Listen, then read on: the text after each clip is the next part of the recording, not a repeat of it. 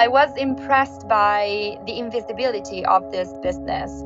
I was there and I was documenting it, and still I had the impression that so much of it was invisible to me, even if I had it in front of me.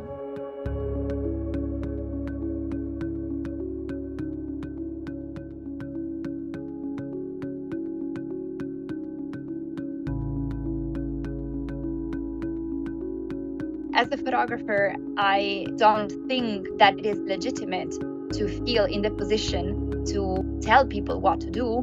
But I do believe in the importance of sharing my experience, my subjective experience, to give people the knowledge to be able to make informed choices for themselves for what they consider right.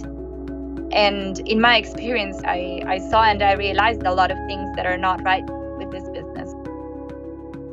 The very first thing that impressed me was the contrast between the sea, the beauty of the sea, and the presence of lines and lines of these cages.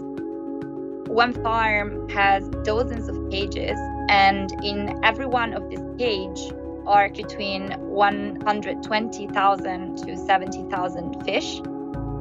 These fish farms produce a lot of waste uneaten food, feces, chemical substances, artificial substances. I think it's totally fair that people don't think about this type of waste because it, it's underwater. We simply cannot see it. In the process of documenting this industry, it was not possible to avoid more emotional images of what happens, of the experience of the fish Having this, these buckets full of ice is a method that is commonly used to slaughter fish on industrial fish farms and is supposed to kill the fish by temperature shock. It is described as a very efficient killing method, but in my experience and what I documented, some of the fish was still alive at the end of the processing and was still alive when it was in the packages already empathizing with the fish is absolutely important, but I also really want to stress consumers not really understanding the magnitude of the business, of how it impacts environments and communities, and what it means to feed this business.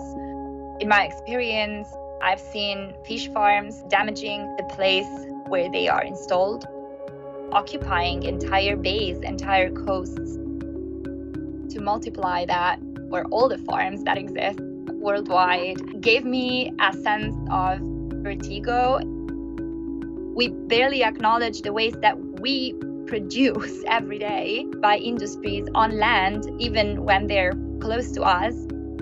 I am not surprised that people don't think about the waste that's produced by businesses that are far away and underwater.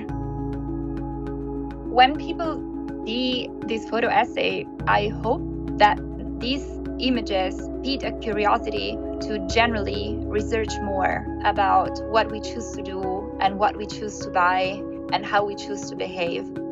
Because we live in a society where behaviors are sold as a pre made package that seems to be so simple, and not a lot of people have the chance to actually investigate and to actually research what's behind those simple actions that they perform every day.